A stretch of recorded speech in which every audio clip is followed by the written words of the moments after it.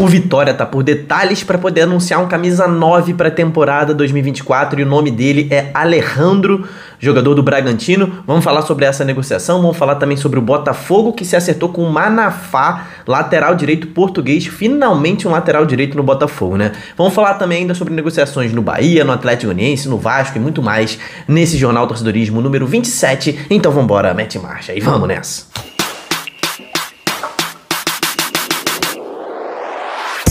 Fala, torcedores e torcedoras fanáticas e fanáticos. Eu sou Diogo Cunha, esse é o meu nome. Seja muito bem-vindo ao canal Torcedorismo. E cara, a gente está muito pertinho de bater a meta de 35 mil inscritos. Então se inscreve aí se você está chegando agora, se você sempre assiste aos vídeos e ainda não se inscreveu, dá uma conferida aí, vê aqui embaixo se você está inscrito. Se inscreva, porque aqui a gente vai falar de futebol, que é o que a gente ama. Esse é o Jornal Torcedorismo 27 edição.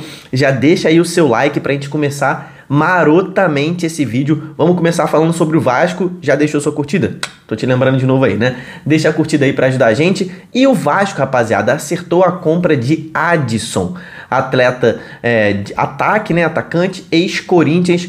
Um, um, jogador que foi vendido recentemente pelo Corinthians ao Nantes, um clube da França, disputa a Ligue 1. E tanto Vasco quanto Nantes chegaram a acordo aí pela aquisição, né, pela transferência do Adson, um atleta muito leve, muito rápido, né? O Adson é, foi revelado pelo Corinthians, destacou no Corinthians, vendido ao Nantes, e o Vasco vai pagar exatamente o mesmo valor que o Nantes pagou ao Corinthians, 5 milhões de euros pelo Adson, dá ali 26 milhões, é, 26 milhões e 600 mil reais é, convertendo ali, né? É o que o Nantes pagou ao Corinthians, é o que o Nantes aceitou que o Vasco lhe pagasse, né? É, para pelo menos reaver o seu investimento, né? O Adson é, não teve muitas oportunidades, né? Jogando pelo Nantes. É, acabou que não jogou muito, né? Jogou só oito jogos, oito partidas e lá ele parece que não se adaptou, né, pro Nantes desistir tão rápido assim da contratação dele, né? É, ele é um atleta muito jovem. No Corinthians ele fez mais de 100 jogos, marcou 13 gols pelo Corinthians e o Vasco está tendo que fazer essa contratação aí para repor a saída do Gabriel Peck, né? O Peck foi vendido pro Galaxy, né? Outro atleta que ainda está na mira do Vasco é Luciano Rodrigues, uruguaio, destaque do Liverpool do Uruguai, tá com a seleção sub-23 que vai disputar o pré-olímpico é, lá na Venezuela, né? E o Vasco tá ali ainda monitorando a situação do Luciano, que, cara, o valor estipulado pelo Liverpool foi de 12 milhões de dólares, tá? Que dá ali 58 milhões de reais. É um valor bastante alto, né? É, outros clubes europeus, inclusive, estão de olho é, no Luciano, né? Então, é, é, talvez seja uma contratação difícil, né? É, o próprio Atlético de Madrid mandou representantes ali para acompanhar o treinamento da seleção uruguaia, mas principalmente o Luciano Rodrigues, né? Então o Vasco aí está disputando com gigantes do futebol essa contratação. Vamos ver se ele realmente chega ao Vasco. Continuando ali é, no futebol carioca, o Botafogo está próximo de anunciar Manafá atleta lateral direito, que o Botafogo é uma, uma área que o Botafogo está precisando demais, né? Uma zona que o Botafogo está muito desfalcado, né? O de Plácido acabou saindo, o Rafael está machucado. Tem o Mateu Ponte, né? Mas ele, na visão do clube, ele ainda é muito jovem. Inclusive tá também na seleção sub-23 do Uruguai, né? Ainda não teve muitas oportunidades no Botafogo, então o Botafogo traz o Manafá, que já é um cara mais experiente, é um atleta português, já tem 29 anos. Hoje ele joga no Granada, que é um time da Espanha, inclusive está na zona de rebaixamento da La Liga, né, o penúltimo time. Lá ele é banco, tá? É, do Granada. Ele acabou jogando bastante tempo no Porto, né? Foi onde ele passou antes de ir para o Granada. Ele saiu do Porto, foi para o Granada. É, e tem as bases contratuais acertadas com o Botafogo, tá? Tempo de contrato, salário, luvas, está tudo acertado ali com o Botafogo. Só falta ele vir ao Brasil realizar exames e assinar contrato com o Botafogo. Botafogo que já teve interesse nele no meio de 2023, tentou, contra, tentou contratar o Manafá, mas acabou que ele saindo do Porto, né? O contrato do Porto acabou, ele não ia renovar, ele optou por continuar na Europa, é, foi para o Granada, né? Mas como eu falei lá, ele fez só cinco jogos no Granada, né? Sempre saindo do banco, então ele está sem espaço e está reconsiderando aí, é, um, tá considerando novos áreas, né? Então, Botafogo aí já muito próximo de anunciar o Manafá. Assim, eu, eu acho que o Manafá não chega ali para resolver a lateral direita, não, tá? É um atleta que é, é bom, é experiente, tem um, é, é um atleta que falta alguma coisa ao Manafá, né? Quem acompanhou ele no Porto, vou, vou, confessar que no Granada não acompanhei muito, né? Até porque ele jogou pouco, mas no Porto parecia que faltava algo a mais ao Manafá. Ele vai ter que se adaptar ao Campeonato Brasileiro aqui, né? Que realmente é muito diferente, muito intenso. Mas um atleta que, cara, chega pelo menos para é um atleta ok, tá? Não vai nem é, acabar com a lateral direita e não vai nem comprometer nem resolver. A princípio, essa é a minha análise do Manafá, tá? Então, outro atleta que o, que o Botafogo, esse sim, não, esse não está ainda acertado com o Botafogo. O Botafogo está tentando ver a viabilidade de trazer Alan, tá? Alan, volante que foi revelado pelo Vasco aqui no Brasil, já está com 33 anos, passou muito tempo jogando no Napoli da Itália, depois transferiu, jogou no Everton da Inglaterra e agora ele está no Al-Wada dos Emirados Árabes, está lá ganhando dinheiro dos árabes. E o contrato dele se acaba, né? Vai se encerrar em seis meses. Então ele já pode assinar um pré-contrato, mas o Botafogo tem o interesse de trazer ele logo agora, neste início de ano, já que o Botafogo só tem o Tietê ali para essa posição de primeiro, segundo volante ali, né? É um atleta que pode fazer as duas posições. Tem o Patrick de Paula, mas a gente não sabe como que o Patrick de Paula vai voltar, né? Então, o Botafogo quer trazer o Alan logo agora. É, vai tentar ali uma composição com o Awada, né? Ver se ele consegue é, pagar um valor mínimo que seja, né? Só tem seis meses de contrato. O Botafogo vai tentar essa liberação logo agora com custo baixo, né? Então, é um atleta que está muito tempo fora do Brasil. O Botafogo seria uma, esse sim seria uma boa contratação para o Botafogo. Realmente, ele chegaria, chegaria para ser titular do Botafogo e um bom titular elevaria o time e o elenco do Botafogo, tá? Agora vamos falar do Vitória. Vitória está sempre aqui no Jornal Torcedorismo. Impressionante. Desde a primeira edição, Vitória movimenta muito o mercado, né? E, cara, Léo Gamalho teve que fazer uma cirurgia no joelho. O camisa 9 ali, que era ele, né? O dono da posição, é, tá fora desse início de temporada. Então, o Vitória foi atrás de um novo camisa 9, tá? E o nome dele é Alejandro, jogador do Red Bull Bragantino, né? Saiu da base do Galo, foi pro Bragantino, jogou muito tempo lá, fez bons jogos, mas na reta final de 2023 perdeu espaço, não estava tão bem assim. Inclusive, se liga nessa postagem que ele fez aí.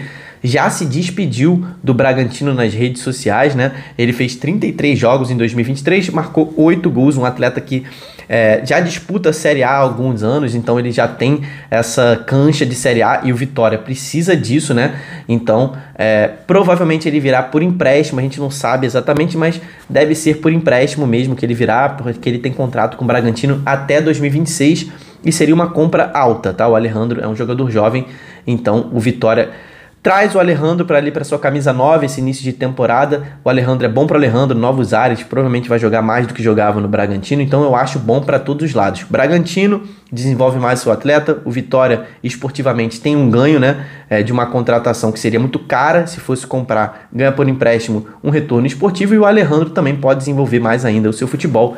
Vejo bom para todos os lados essa negociação.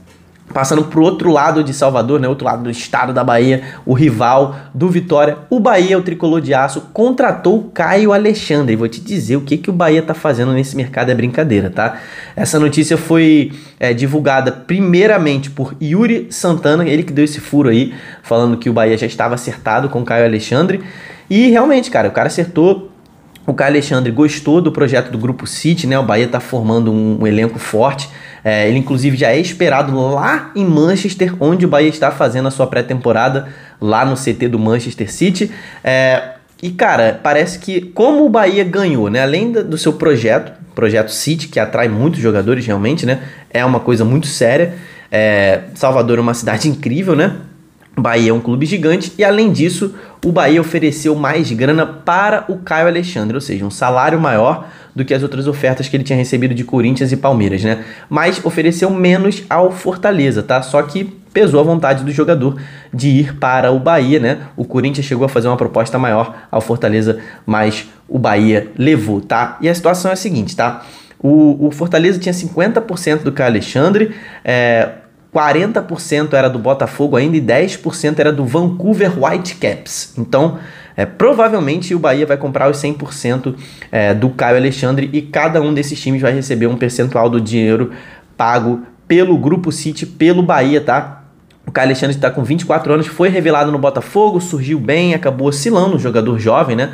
Assim quando ele, que ele subiu do Botafogo, saiu do Botafogo, foi para o Vancouver, né? Futebol lá do Canadá Voltou pro Fortaleza, se destacou muito. Cara, a temporada 2023 ele jogou muita bola, muita bola mesmo. Era um dos jogadores de confiança do Voivoda no Fortaleza. E aí despertou interesse de gigantes do Brasil, né? Fortaleza, é, Bahia, Corinthians, Palmeiras, todos eles brigaram por Caio Alexandre e quem levou foi Bahia. Grande contratação. Agora falando de Série B, o Papão da Curuzu, o Paysandu, tá interessado ali, né? Tá interessado não. Ofereceram Juan Quinteiro um zagueiro, é, foi oferecido à diretoria do Paysandu e a diretoria ali se interessou, saber mais coisas, né? O Quinteiro que já é, é muito rodado aqui no Brasil, né? Um atleta de 28 anos, é colombiano com esse nome, aposto que você já sabia que ele não era brasileiro, né? E ele já atuou aqui no Brasil, jogou no próprio Fortaleza que eu tava falando, jogou no Vasco, jogou no Juventude, estava no Deportivo Pereira da Colômbia, sua terra natal, acabou o contrato, está livre no mercado e foi oferecido ao Paysandu. Cara, se o Paysandu não fizer extravagâncias pagando o salário do Quinteiro, é um atleta que chega para ser titular, tá? Vai ser muito útil na Série B o Quinteiro. Eu aprovo essa, essa negociação do Paysandu. O Paysandu tá precisando encorpar um pouco mais esse elenco, né? Trazer jogadores de mais experiência, de mais rodagem é, em Série B, em, em campeonatos brasileiros, em competições de nível mais alto, né? Para dar ali uma encorpada realmente no elenco do Papão da Curuzu, do Bicolor, que, cara, vem muito forte para essa Série B. Eu tô botando minhas fichas no Paysandu nessa Série B por enquanto. Vamos ver como é que é o início de temporada, né? O Atlético Goianiense, que subiu para a Série A nesse ano, tá negociando com o lateral direito Maguinho, 32 anos. Ele tava no Goiás, e agora o Atlético Goianiense está negociando essa transferência aí, né? O Maguinho vai fazer a trinca. Se ele for pro Atlético Goianiense, meu irmão, ele já jogou no Vila Nova, já jogou no Goiás e agora o cara vai conseguir jogar no Atlético Goianiense, né? Então o cara realmente gosta dos rivais. Ele estava dois anos no Goiás, né? Teve seu contrato rescindido aí recentemente. O Vitória estava tentando a contratação do Maguinho, mas parece, né? Segundo notícias que a gente leu, o Vitória não. O Fábio Mota, inclusive, falou isso, né? Que ele não curtiu ali, ele achou que o, o staff do Maguinho estava fazendo leilão, né? Já tinha uma proposta, e aí chegou o interesse do Atlético Goianiense, interesse de outro clube, ele falou: e aí, Vitória, vai pagar mais? Aí o Vitória se retirou, não quis aumentar a sua proposta, e agora parece que o caminho está livre para ele fechar com o Atlético Goianiense. O Guarani, Guarani disputa a Série B, anunciou dois zagueiros, Léo Santos, novo zagueiro do Bugre, tá? Contrato em definitivo até o final deste ano, 2024. Ele que estava no Ceará, assina para jogar a Série B pelo Bugre, né? E ele tá com 25 anos, tá? Só para para deixar isso claro que ele é um atleta ainda jovem, né? O outro zagueiro também jovem, de 22 anos, é Pedro Henrique. Ele estava no futebol búlgaro, estava no Ludogorets, que é um dos principais times ali realmente da Bulgária, né? Então, o, o Guarani anuncia é, esses dois é, jogadores que, cara, a zaga do Guarani ano passado teve até uma boa zaga, mas na reta final acabou é, entregando, né? Acabou entregando ali o acesso do Guarani. O Fortaleza finalmente anunciou o goleiro Santos, já falei sobre isso aqui no canal, né?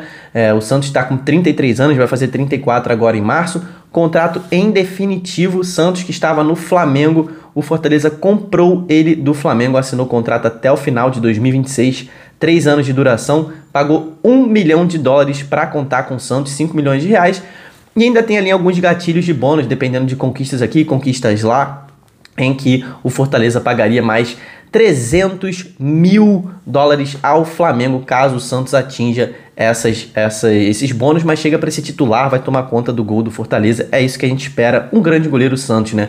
Destacou muito no Atlético. Para encerrar esse vídeo, o nosso bônus de hoje é do Cuiabá, time de primeira divisão, time que nunca caiu anunciou a contratação do lateral direito Railan, que foi campeão da Série B pelo Vitória no ano passado, né? Um atleta de 23 anos, assina contrato em definitivo até 2027. Ele estava no Vitória, mas pertencia a Jacuipense, que é um clube lá da Bahia. Foi emprestado ao Vitória é, e foi muito bem no Vitória, né? Assim, não era titular, né? Mas é, ele foi bem. Então ele disputou 40 partidas, né? Pelo Vitória, deu 5 assistências, e o Cuiabá vai pagar 1 milhão e 300 mil reais ao a Jacuipense pelo, pelo contrato aí, pela contratação do Railan, beleza? Então a gente encerra aqui esse vídeo, tá? Desculpa aí, tá tocando algum telefone aí, é aqui no vídeo, pode ficar tranquilo, eu peço perdão aí.